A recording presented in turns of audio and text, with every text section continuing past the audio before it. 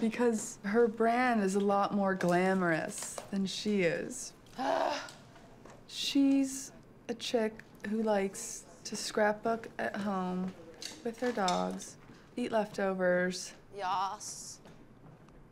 She sounds like Homer Simpson. No, but she's very normal.